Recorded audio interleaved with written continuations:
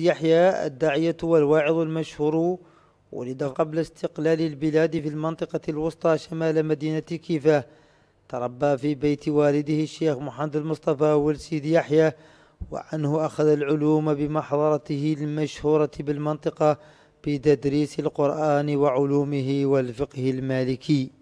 انتقل الشيخ الشاب ثمانية وسبعين تسعمائة وألف إلى نواكشوط بعد وفاة والده وبن واكشوط حصل على الإجازة في العلوم الشرعية وبدأ يلتقي ببعض المشايخ الذين تأثر بما يحملونه من علوم ومعارف. ومن هنا كانت البداية بداية الشيخ الشاب مع الوعظ والدعوة إلى الله تعالى بالتي هي أحسن حيث كانت البلاد حينها تشهد صراعا قويا بين المعاصرة بسلبياتها وإيجابياتها ومظاهر الانحلال التي كانت تجتاح قطاعات كبيرة من شباب البلاد. الأستاذ الداعية الكبير الشهير الورع الزاهد محمد بن سيدي يحيى عرفناه شابا في المعاهد الإسلامية هنا متعلما أولا ومدرسا أستاذا ثانيا ولكنه تخصص في الدعوة إلى الله تعالى والمحاضرات الواضحة لمختلف مستويات التعليم معناها في في الحلقة التي يعلم الدكاترة يعلم فيها الأميين. كان هذا من خصائصه أنه خصه الله بالبيان. أنا حكيم إلى حد أن لغته لا لا يسمع أحد دقيقة منها إلا استفاد منها حكمة أو اتضحت له حكمة كانت غامضة. اعتمد الشيخ محمد ولسيد يحيى في دعوته على بساطة اللغة من خلال مخاطبة الناس بما يفهمون. شيخ محمد السيد يحيى هذا رجل من أهل العلم ومن أهل الدعوة وأسرته كذلك من أهل العلم. فشيخه والده كان آه، شيخ محضرة آه، تخرج على يديه كثير من طلبة العلم وخصوصا القرآن الكريم. وهو بذل جهده ووقته في الدعوة إلى الله سبحانه وتعالى ونفع الله بدعوته نظرا للأسلوب الذي مكنه الله سبحانه وتعالى منه وهو أخذ الأحكام والعبر والعظات بسهولة والتعبير عنها بما يفهمه الغبي فهما كاملا.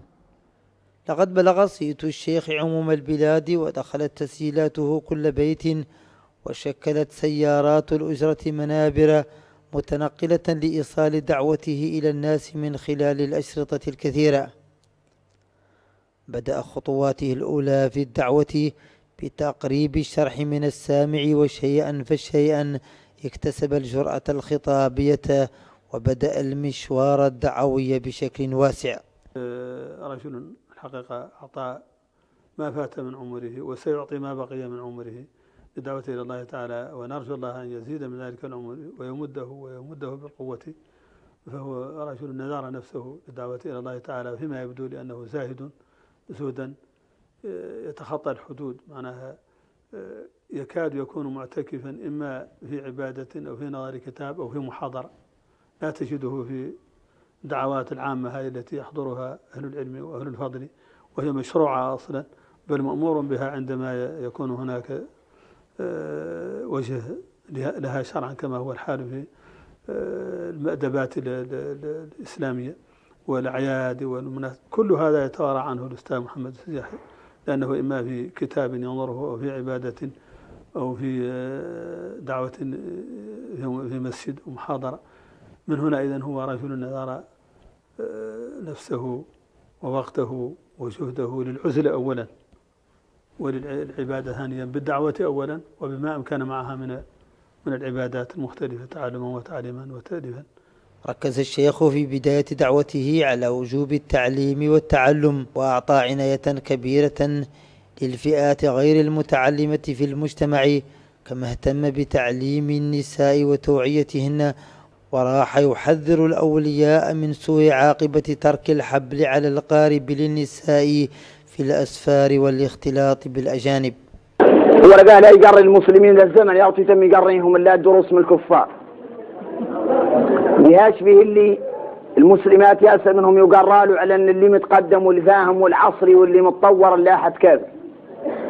فجعلت صفات المحمدة للكفار وجعلت صفات الذم والتأخر للمسلمين.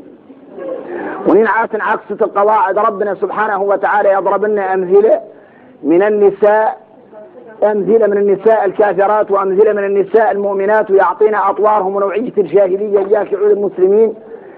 آه، محصنين عن التيارات اللي ما هي طيبة. معناها إيش معناها نعطى لهم الأمثلة إياك يقبلوا تجربة من اللي يسبقهم لأن الزمن ما هو طاري والتاريخ يعطي لقاه نتيجة الفجور أهله لا يطيحوا فاش. ونتيجة طاعة مولانا شنو؟ دعوته كانت آه، لهذا البلد نبراسا اهتدى على يديه كثير من الناس ممن لم يكونوا أصلا آه، يهتمون بالعلم ولا بأهله. آه، فاصبحوا متعلقين بالعلم وبالمساجد وبالخير. فمحمد سيدي يحيى رجل نفع الله سبحانه وتعالى به أرجو الله سبحانه وتعالى أن يجعل ذلك في ميزان حسناته وأن يمد في عمره إن شاء الله تعالى حتى تنتفع المسلمون منه أكثر. لا أعرف ألف أم لا ولكنه يصلح لأن يؤلف إن أراد معناها مشكلة ليست مشكلة ذكاء. ولا العلم ولكن مشكلة انزواءه هو عن المجالس وعن الاختلاط بالناس. وكان بعد ولله الحمد مؤثرا جدا وما يزال في نفوس الناس وكانت محاضراته آه، يضرب بها المثل في الوضوح وفي الوصول إلى مختلف المستويات. أمد الله في عمره وأعطاه الله مددا في الجهد وفي أيضا آه، قدرة على الانفتاح على المجتمع أكثر لأن المجتمع يحتاج له أكثر مما يتصور. كان الشيخ الداعية محمد يرسد يحيى وما يزال داعية من الطراز الرفيع وعلما من أعلام بلاد المحاضر والدعاة. أطال الله عمر داعيتنا ونفعنا بعلمه إنه مجيب الدعاء.